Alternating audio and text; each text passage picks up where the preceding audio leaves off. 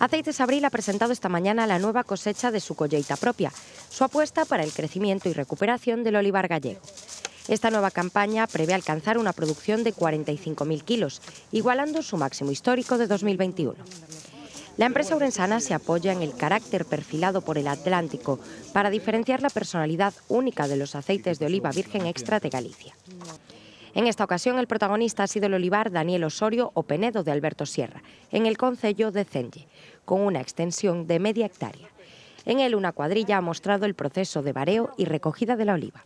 Era un viñedo, sí, era el viñedo de mi padre, decía que aquí su vida la pasaba plácidamente, cuidando las cepas, pero claro, al fallecer él y nosotros estar en, actividades empresariales, pues esto se fue abandonando. Entonces, eh, en el momento en que Aceites Abril me comunica que, quiere intentar la recuperación de, plantación de olivos, pues me pareció una cosa extraordinaria. Y empecé pues, en la parte de abajo, donde realmente la tierra no, valía para nada.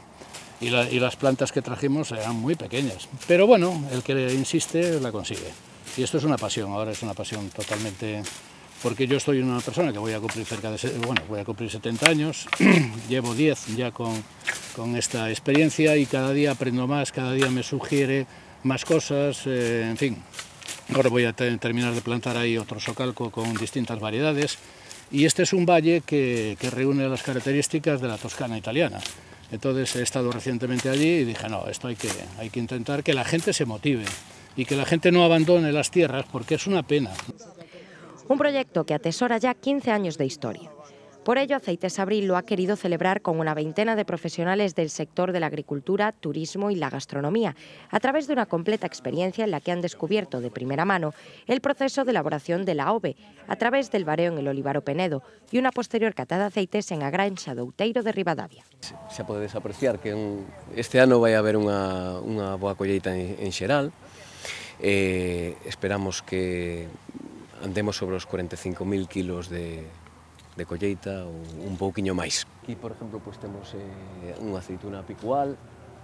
Neste, neste olivar de, de Alberto Sierra pois temos tanto arbequina como picual, frantollo, temos varias varia, variedades. Eh, recollémolas pois, no punto eh, que está no envero, cando empeza a virar de color entre, entre verde e, e violácea para conseguir un aceite pois, con máis aromas, un aceite pois con máis forza sensorial.